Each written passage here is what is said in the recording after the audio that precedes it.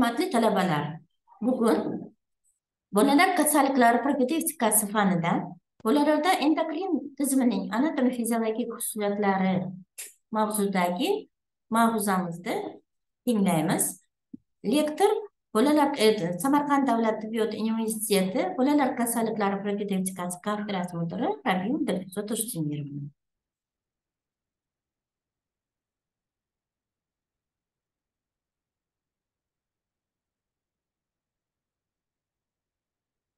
ma'ruzamiz rejasi endokrin bezlarning bolalarda anatomiya fiziologik xususiyatlari va endokrin bezlarning tekshirish usullari gormonlar nima? Gormonlar bu.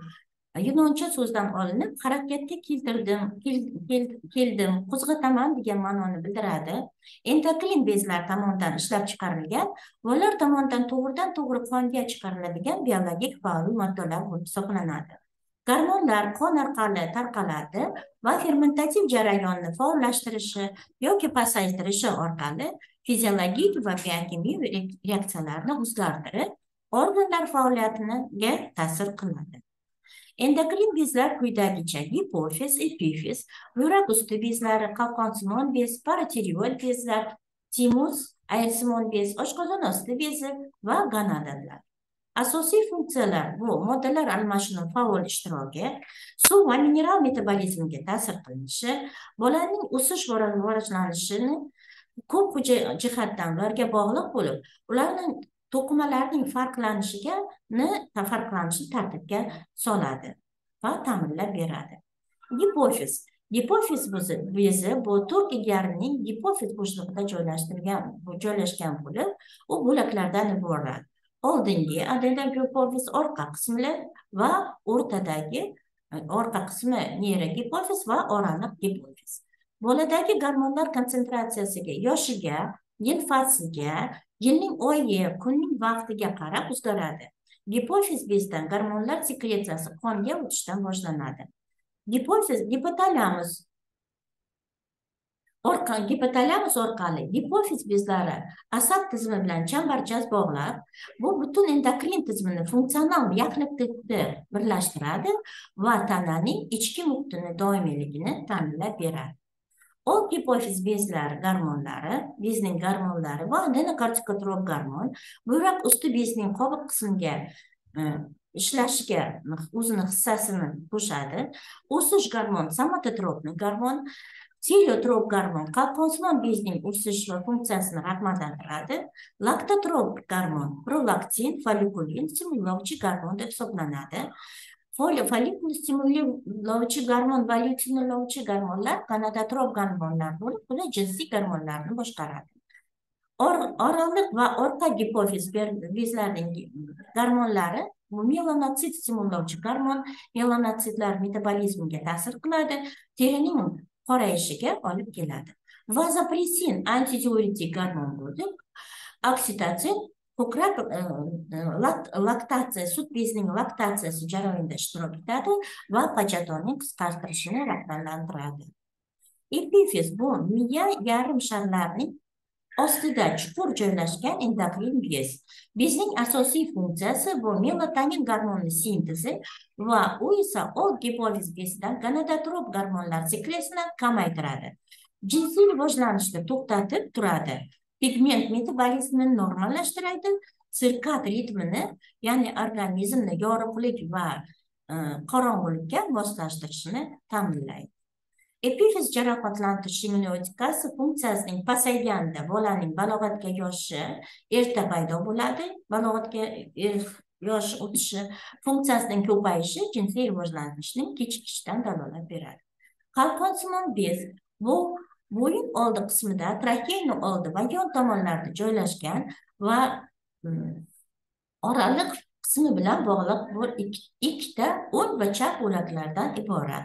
Qalqon simon bezining anatom fiziologik xususiyatlari shundan iboratki yangi tug'ilgan chaqaloqlarda qalqon simon bezi nisbatan katta ammo gistologik tuzilishi to'liq emas.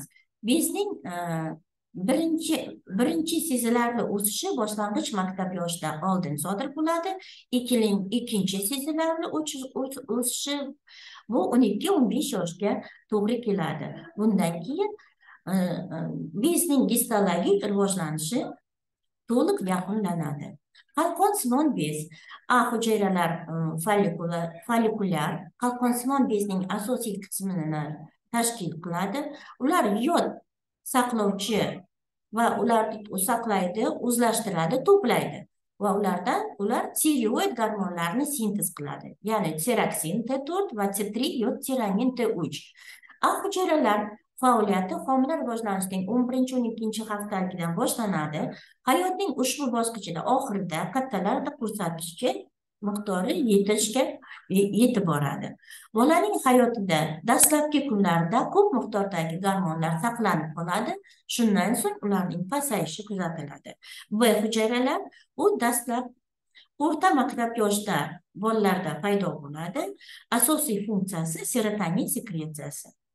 S hujayralari esa yodni yuta olmaydi. Ular kalsitamin gormonini ishlab chiqaradi va asosiy vazifa tanadagi kalsiy kalsiyni qon tarkibini tarkibiga tartibiga miqdorini pasaytiradi.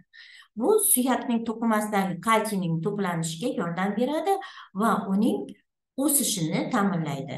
S hujayralarining faoliyati homiladorlik rivojlanishining o'n to'rtinchi haftaligida boshlanadi va maktab yoshlik katta maktab yoshida o'sha gistologik rivojlanishda to'liq yetadi.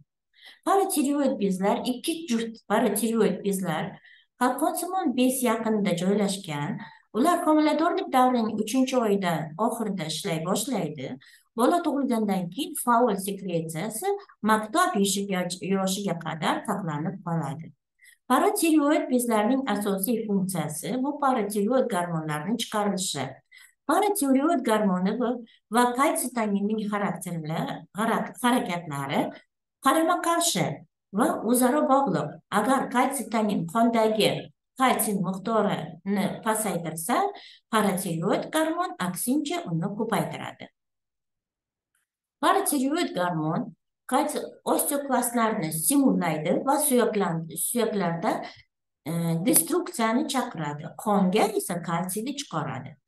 Buyraklarda kalsiy reabsorbsiyasini ko'paytiradi fosfat uyani ko'paytiradi kalsiy tiyuv hosil bo'lishini kuchaytiradi va ichaklarda kalsiy so'rilishini kuchaytiradi parotireoid gormon ta'siri natijada qonda kalsiy miqdori e, ma'lum bir muvozanatda ushlanib turadi buyrak usti bezlari olti haftalikda homilada shakllana boshlaydi. Yigirmanchi haftalikda ularning kattalariga qaraganda homila og'irligiga nisbatan ikki ellik baravar katta tug'ilgandan keyin buyrak usti bezlari o'sishda davom etmoqda. Homiladorlik ishi yoshidagi nisbiy massa kattalarga qaraganda o'n o'n besh barobar ko'p. Tug'ilgan buyrak usti bezlari juda katta hajmga yetadi va neonatal davrda ular asta sekin kamayishga boshlaydi. Dan shu davrdan boshlab bolaning og'ir kasalliklarida bezlar yetishmovchiligining tez tez rivojlanishi buyrak usti bezlarining yetilmaganligini tufayli rivojlanadi buyrak usti qobiq qismi gormonlari bu kortikosteroidlar deyiladi. Ularning sekretsiyasi kun sikli bilan ajralib turadi. Bu bola hayotning o'n beshinchi yigirmanchi kunida paydo bo'ladi maksimal miqdori ertalab ajraladi. Bolaga gormonal dorilarni buyurishda bu e'tiborni e'tiborga olinishi kerak bo'ladi. Erkak jinsiy gormonlar adrogenlar va ayol jinsiy gormonlarni estrogenlar bo'lib hisoblanadi. Ikkilamchi jinsiy xususiyatlarning rivojlanishini ta'minlaydi.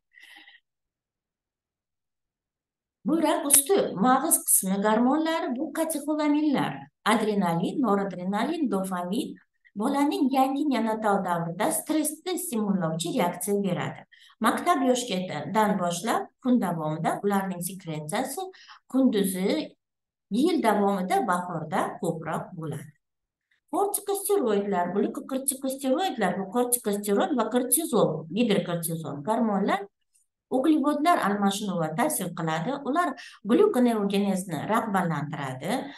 Uglevodlarning parchalanishini yog'lar va yog'larga aylanishini pasaytiradi qondagi shakar miqdorini oshiradi va tanadagi tananing insulinga sezdirgiligini pasaytiradi shu bilan birga ular protein metabolizmida suv mineral metabolizmida va boshqalarida ishtirok etadi mineral kortikosteroidlar bu aldosteron gormon natriy metabolizmni tartibga uchun suv tuz almashinuvida ishtirok etadi.